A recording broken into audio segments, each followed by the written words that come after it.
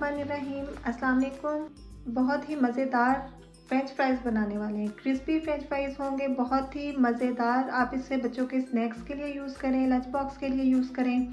Save कर सकते हैं इसे। जितना टाइम मर्ज़ी इसे सेव करें, ये ख़राब बिल्कुल नहीं होंगे। जैसे आजकल आलू सस्ते हैं, आप इसे बना के सेव करें। बहुत ही मज़ेदार क्रंची फ्रेंच फ्राइज़ बनेंगे। छीलना स्टार्ट करेंगे पहले।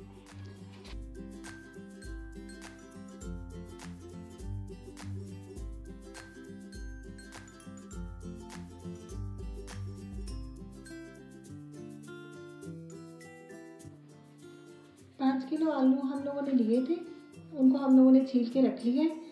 अब हम इसका नेक्स्ट स्टेप करेंगे। नेक्स्ट स्टेप ये है कि हम इसको स्लाइसेस कट करेंगे थिन स्लाइसेस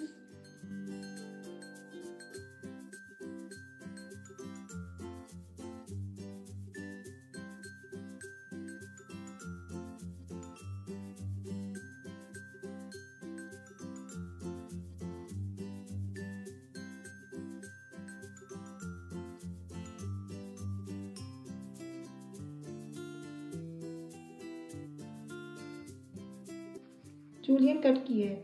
अब चाहे तो थिन स्लाइसेस में कट कर लें। जूलियन कट भी, ये देखें, इतना हम लोगों ने इसकी थिकनेस रखनी है। बहुत ज़्यादा इसकी थिकनेस नहीं होनी चाहिए। नेक्स्ट प्रोसीजर के लिए हम लोग जाएँगे। नेक्स्ट प्रोसीजर में हम लोग इसे पानी बॉयल करने के लिए रखेंगे। तब तक हम इसे स्टेन कर लेंगे। एक कढ़ाई लेंगे। कढ़ाई में पानी डालेंगे और उसे गर्म होने के लिए रख देंगे। पानी हमारा बॉयल होने लग गया अब हम इसमें फ्राइज ऐड करेंगे। फ्राइज का पानी हम लोगों ने निकाल लिया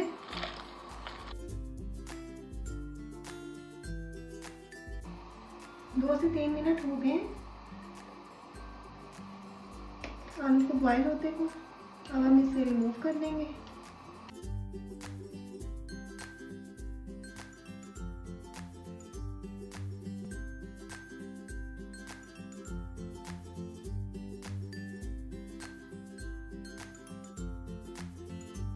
अब हम इसे ड्राई करेंगे किचन टॉवल से।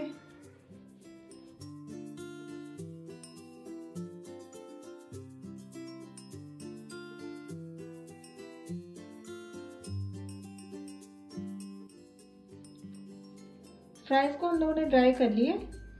अब हम इसकी कोटिंग करेंगे। कोटिंग के लिए हम लोग को कॉर्नफ्लोर चाहिए।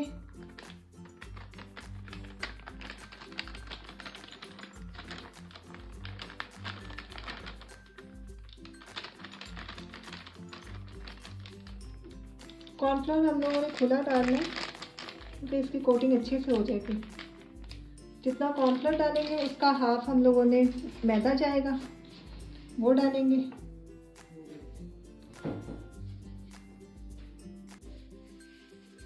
वन टेबल स्पून ऑलमोस्ट नमक जाएगा।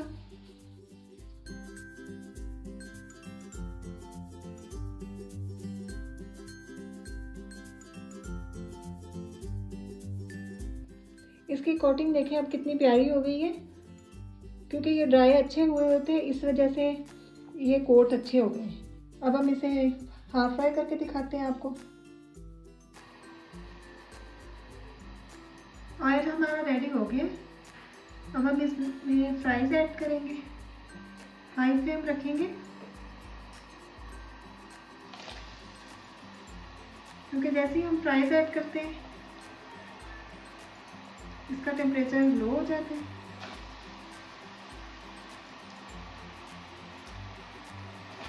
दो मिनट ही फ्राई करेंगे, ज़्यादा फ्राई करने की से ज़रूरत नहीं।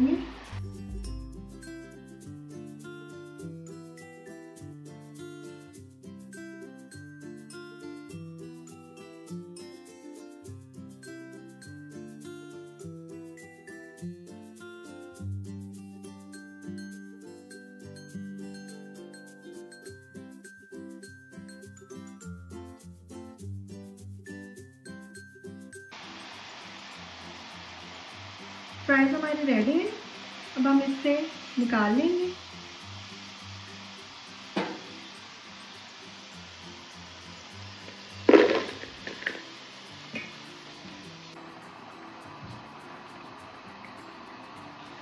फ्राइज़ हमारी हाफ़ टर्न हो गई है।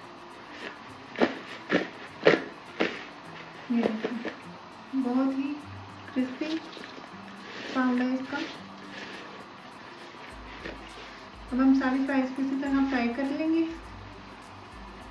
मैं फिर आपको फाइनल दिखाती हूँ। फ्राइज हमने हाफ़ डन करके रख दिए थे। अब ये ठंडे हो चुके हैं और अब हम इसे फ्रीज होने के लिए रखेंगे। प्लास्टिक बैग में डाल के।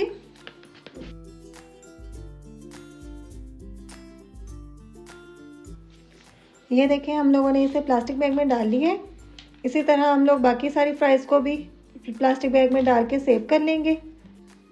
ये देखिए ये फ्राइज़ को हम लोगों ने हाफ़ डन करके इसे रख दिया था फ्रीज़र में फ्रीज़ होने के लिए। सात से आठ घंटे में अच्छे से फ्रीज़र होगी ये। अब हम इसे फ्राई करने लगे।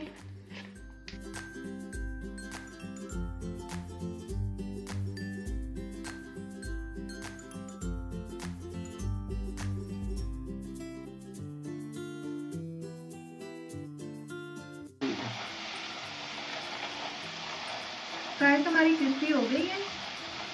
फ्राइज को हम लोगों ने सात से आठ घंटे के लिए फ्रीज कर दिया था। और फ्रीज की हुई को ही हम लोगों ने अब फ्राई किया डीप फ्राई किया ये देखिए इसकी आवाज़, सुनी साउंड कितना प्यारा क्रिस्पी आ रहा है। कलर भी इसका लाइट ब्राउन कलर आ गया है। ये रेडी है।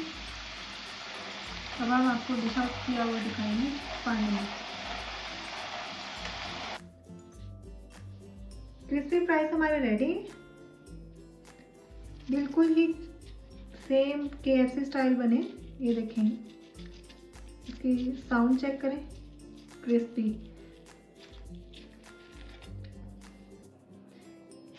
ये देखिए इसमें ऑयल बिल्कुल नहीं है।